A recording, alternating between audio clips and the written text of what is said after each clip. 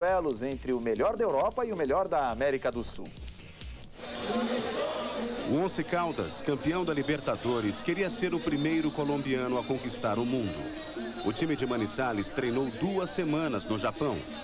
Já o Porto, campeão da UEFA Champions League, chegou em Yokohama apenas três dias antes da decisão. Tudo pronto para a 25ª e última edição da Copa Toyota. A disputa entre sul-americanos e europeus começou bem antes, em 1960, com jogos de ida e volta.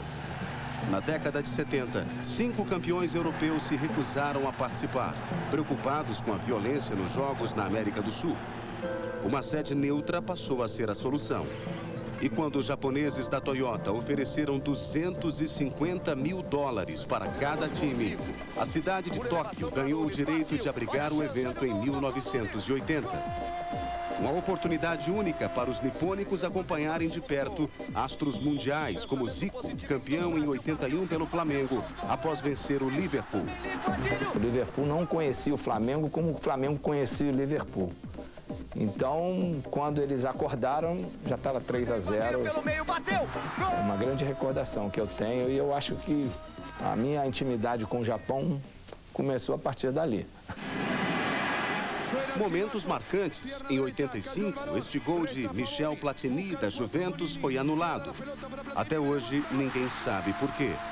Por sorte, os italianos acabaram com a taça.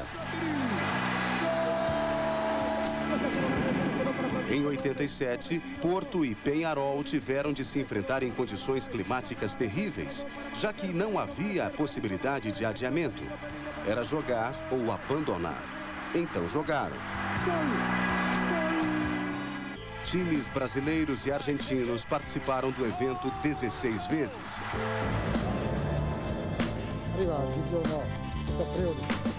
O Milan da Itália é o recordista com cinco presenças.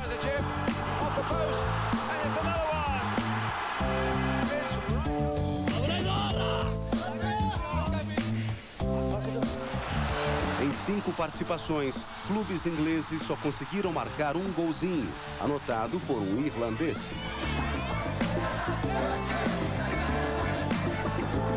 Para os europeus, o evento tornou-se estratégia de marketing no mercado asiático. De volta a 2004 e a última Copa Toyota. Talvez fosse mesmo a hora de acabar. 45 mil pessoas foram ao estádio, um dos piores públicos.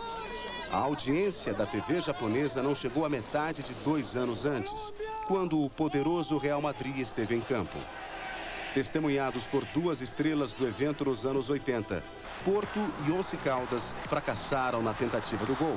Embora Penny McCarthy tenha balançado as redes, impedimento polêmico.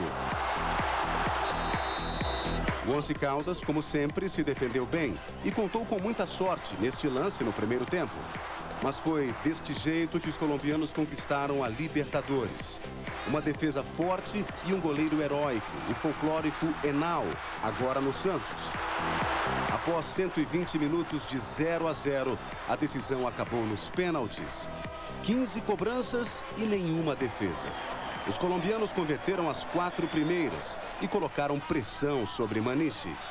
O meia sucumbiu.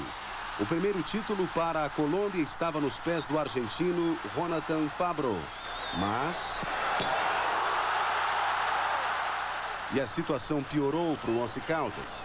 Nas cobranças alternadas, Edwin Garcia também errou e abriu uma chance para Pedro Emanuel. O português não perdoou. A vitória do Porto desempatou a estatística da Copa Toyota. 13 títulos para a Europa e 12 para a América do Sul.